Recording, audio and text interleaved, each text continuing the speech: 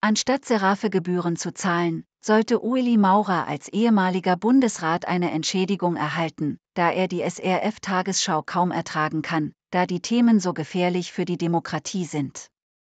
Alt-Bundesrat Ueli Maurer fährt dem Schweizer Fernsehen, SRF, heftig an den Karren. In einem Interview mit der Weltwoche bezeichnet er den Sender als demokratiegefährdend und wirft ihm eine einseitige Berichterstattung vor. Maurer bemängelt insbesondere die Themenauswahl. Ich verlange eigentlich bald Schmerzensgeld, wenn ich schauen muss. Also bezahlen würde ich gar nichts. Die Kritik des 72-Jährigen richtete sich somit auch gegen die Seraphe-Gebühr, gegen die seine SVP die sogenannte Halbierungsinitiative lanciert hat.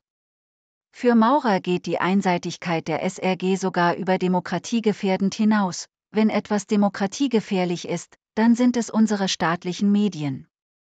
Maurer, der sonst stolz von sich sagt, eigentlich keine Medien zu konsumieren, outet sich als treuer SRF-Zuschauer. In jeder Tagesschau kommt noch irgendein Spruch über das Klima, über das Wetter, über irgendetwas. Themen, die dem ehemaligen Finanz- und Verteidigungsminister sauer aufstoßen, eigentlich müsste man das fast verbieten. Eine im September veröffentlichte Studie des Forschungszentrums Öffentlichkeit und Gesellschaft untersuchte die Ausgewogenheit der Berichterstattung großer Schweizer Medien vor Volksabstimmungen. Dazu wurden die Artikel und Beiträge im Rahmen von 44 Volksabstimmungen der letzten fünf Jahre ausgewertet.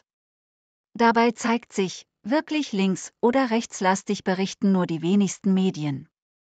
Wenig überraschend gehören die Wochenzeitung WOZ und die Weltwoche zu diesen Ausreißern. Die Mehrheit der zwei Dutzend im Links-Rechts-Schema eingeteilten Medien drängeln sich um den Nullpunkt herum. Dies gilt insbesondere für SRF und den Schwestersender RTS aus der Romandie.